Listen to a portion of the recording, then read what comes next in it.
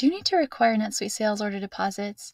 With the required deposit workflow feature in NetSuite, you can enter required deposit amounts on your sales orders. Let's take a quick look at how to set up and use this simple NetSuite feature.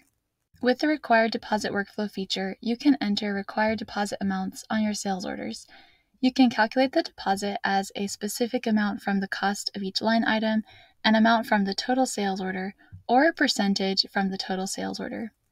To set up NetSuite for sales order deposits, you'll need to enable the required deposit workflow feature. You can access this feature on the Sales section of the Transactions tab in Enable Features. After selecting this feature, save the page.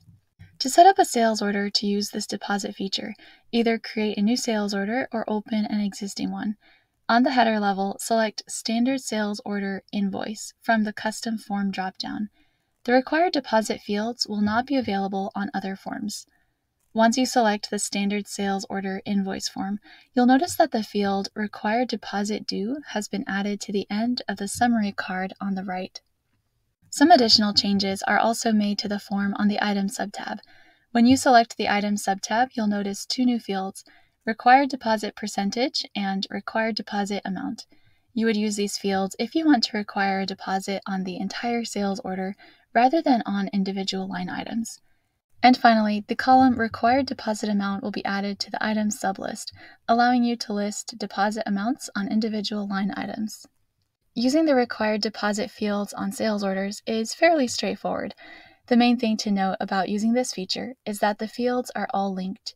If you enter an amount in the required deposit amount column next to an individual item, the fields required deposit percentage and required deposit amount under the items subtab will auto-populate based on what you entered on the line item.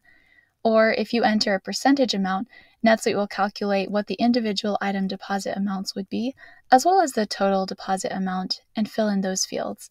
Similarly, if you enter a deposit amount for the whole order, NetSuite will calculate the deposit percentage and distribute the deposit amount proportionally across the individual line items. Let's take a look at an example. Suppose you enter a 10 in the required deposit percentage field on a sales order that has a total amount of $275. When you save your changes, NetSuite will enter 2750 in the required deposit amount field and also list a deposit of 10% on each line item.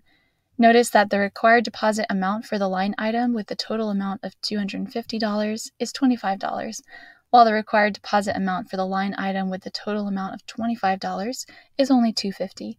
Your starting place for entering a required deposit amount is based entirely on your preferences.